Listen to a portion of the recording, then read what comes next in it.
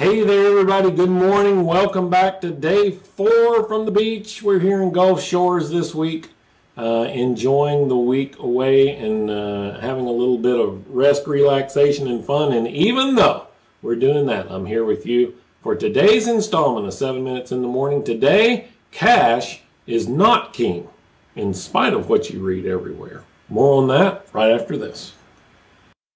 This is 7 Minutes in the Morning, where five days a week you get tips and hacks dedicated to helping business owners and leaders just like you find and break through the one thing that is preventing your success. And now, here's the host of 7 Minutes in the Morning and your results coach, Thom Rigsby. Hey there, everybody. Good morning and welcome to this Thursday installment of 7 Minutes in the Morning. Almost said talk radio for entrepreneurs. Hope you are enjoying the week so far and have gotten some value from our time together already this week. If you do, if you get value out of our time together today, I would appreciate the old like, thumbs up, stars, hearts, whatever is appropriate in the venue where you are watching or listening. And when you get here, leave a comment, say hi, hello, good morning, whatever floats your boat. Uh, all of those are encouraging to me, and I enjoy reading those comments, and will do my very best to reply to each and every one of them. All right, so today I want to talk to you about um, the, the two ways that we get paid. In the open, I said, you know, cash is not king. And one of the, you know, a lot of the debate, a big debate that's going on societally right now is uh, this universal basic income, this uh, minimum wage debate, um, the the one the battle with the one percent, all of this relates to money.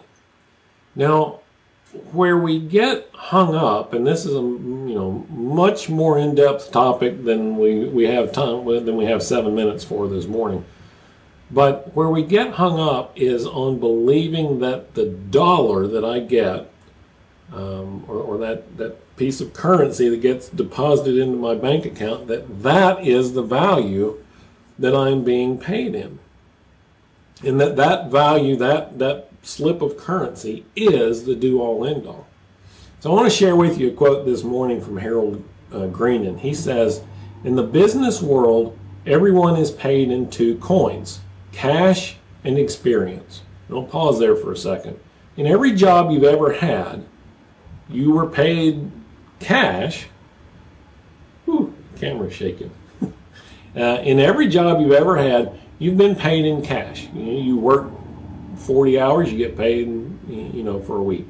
But you also gain experience, and that's that's really where your resume comes into play, right? If your bank statement is, is measuring how you're paid in cash, then your resume measures how you've been paid in experience. And for many people, the more experience you gain, the, the greater responsibility you're offered either in that company, in that uh, in, in another company, or maybe you've gained enough experience in a particular industry where you can begin a business of your own.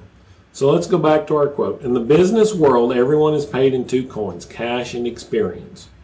Take the experience first. The cash will come later. Right? So think of, of this as you are building the business, right? If you have an opportunity, and, and this is how, you know, this, this applies to employees and business owners alike.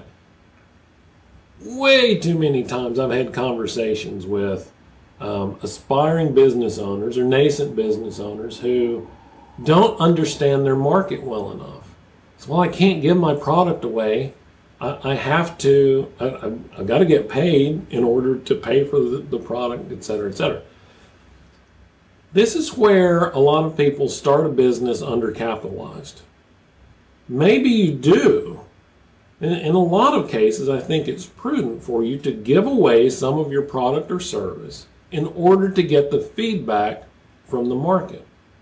Now, you are absolutely correct. Correct. You have to pay for the, the cost of acquiring and delivering that product or service, and that's where you know the need for capital arises.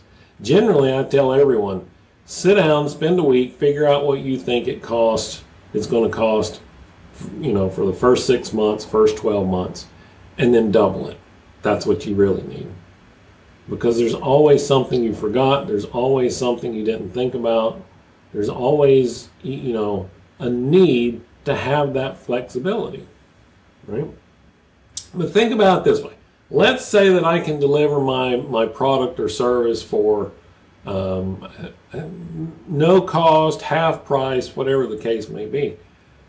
And, and I do this um, sometimes, frequently. I did it frequently getting started where I would say, here, let me, let me give this to you for 50% off.